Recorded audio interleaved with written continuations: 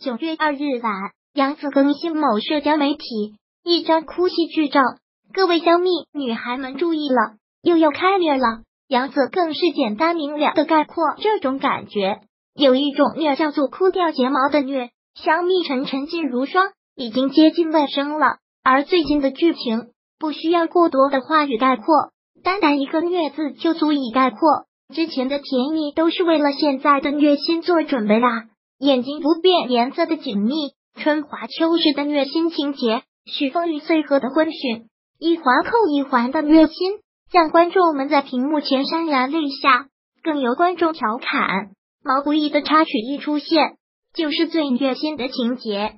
小米女孩们听到这个插曲出场，就会十分恐惧，简直是毛骨悚然。这样一个新颖的解释，引起了杨紫和毛不易的关注。两人开始了商业互捧。毛不易说：“这是因为杨紫虐的太狠了。”杨紫则夸赞是毛不易唱的太好。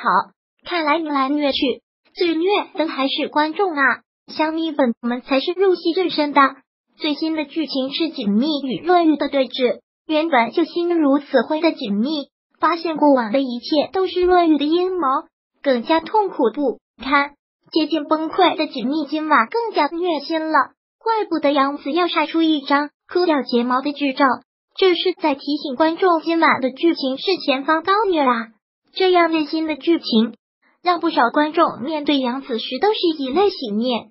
还好这样虐的剧情不是在杨子和秦俊杰分手时播出的，要不然就是虐上加虐。虽然当时秦俊杰和杨子分手了，但是至少在剧中，锦觅和徐凤是十分甜蜜的，还算是有点安慰。